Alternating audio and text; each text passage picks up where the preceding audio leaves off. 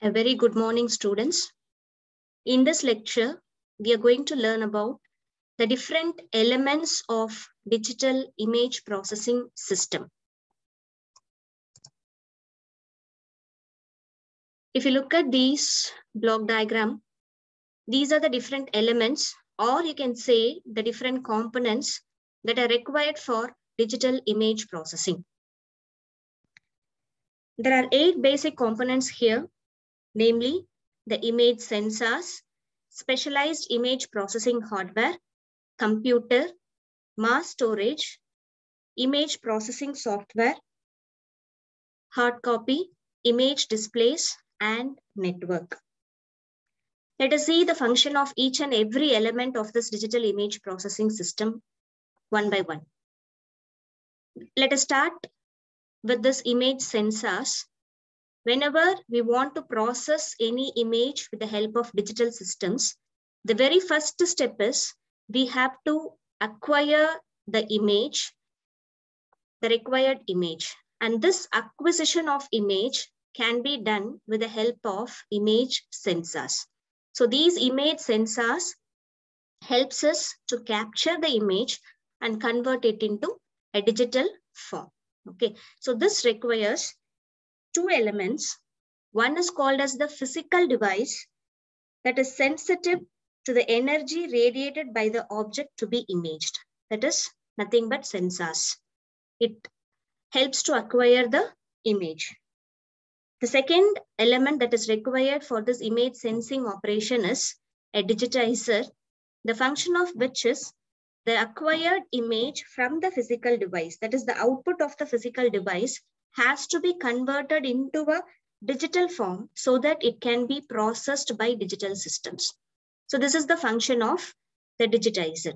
This image sensor, it consists of two elements. One, namely the physical device, the other one, namely the digitizer. Okay. The next is specialized image processing hardware.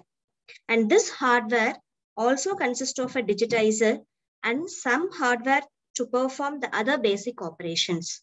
Whenever we speak about hardware, a very example, very simple example, we can say it is an ALU. It is nothing but an ALU. So this specialized image processing hardware also will contain an arithmetic and logic unit which performs both arithmetic as well as logical operations on the entire images in parallel.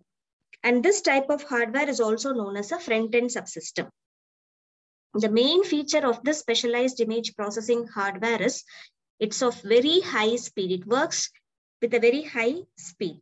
Therefore, the fast functions which cannot be performed by the main computers it can be handled with this specialized image processing hardware. That is the function of this. Okay. Moving on to this computer. This uh, computers used in image processing system is usually a general purpose computer, but this computers that we use for digital image processing, it can range from a personal computer to a supercomputer based on the applications that we use. Okay. In some dedicated applications, some specially designed computers are also used to achieve the required performance. The next is image processing software.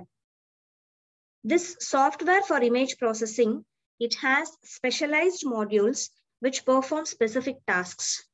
Okay. Some software packages have the facility for the user to write code using the specialized modules. A very simple example we can take is our MATLAB. In MATLAB, if you look at our MATLAB, there is a separate toolbox called image processing toolbox. And this toolbox can be named as a specialized module that helps us to write codes for all image processing applications. Next, coming on to this mass storage, images require large amount of space, storage space.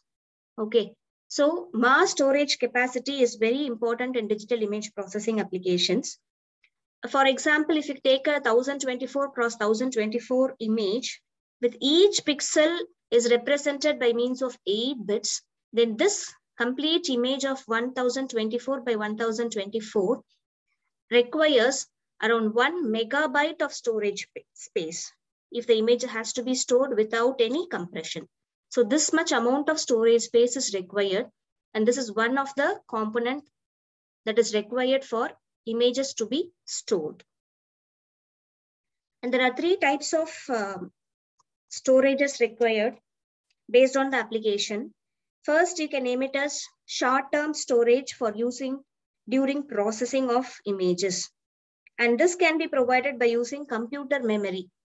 Simple computer memory can be used as a short-term storage. The second type of storage is online storage. And this type of storage is usually used whenever fast recall is required. It, it, it gives frequent access to the stored data. And this is provided by magnetic disks and optical media storage. Previously, we have seen short-term storage, which is given by computers and frame buffers. The next is online storage, which can be provided by magnetic disks and optical media storage.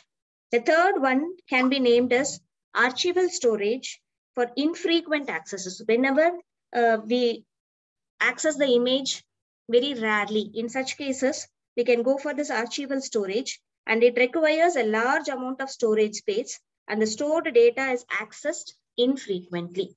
So this is with respect to the mass storage component.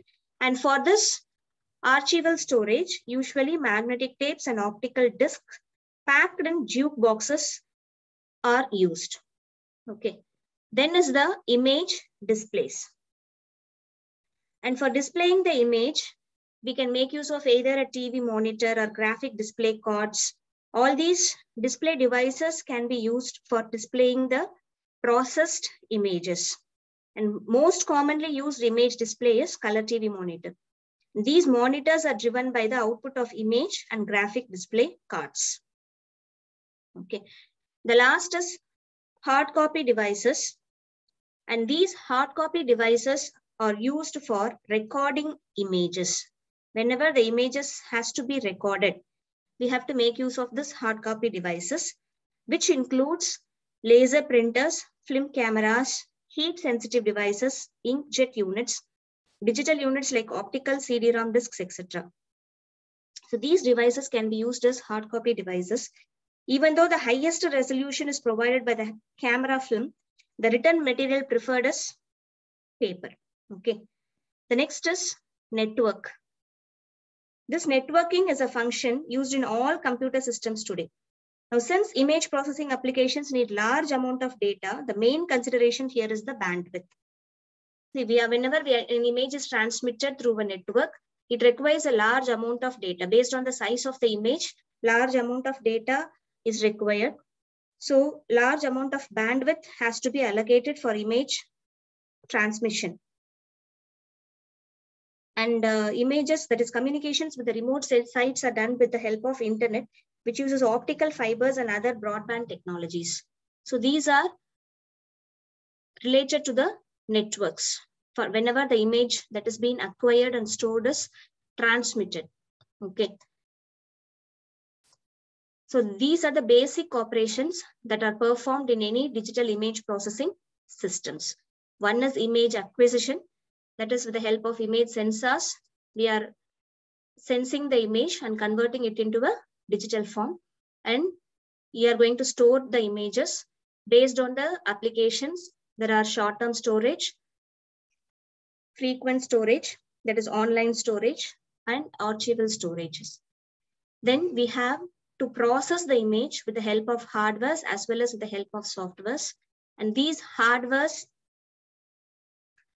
include arithmetic logic units, as we discussed. It performs both arithmetic and uh, logical operations in parallel. The next is image processing softwares, for which we can consider MATLAB as an example, uh, where we have a separate image processing toolbox to process all the image processing applications. And then all these images after processed and acquisition, it has to be communicated based on the distance that we are going to communicate, the type of network may be varying. So thus that comes under communication. And whenever the images after processing has to be displayed, the most commonly used TV monitor can be used. So in this lecture, we have a clear understanding about the basic elements, or you can say the different components, basic components of digital image processing systems. Thank you.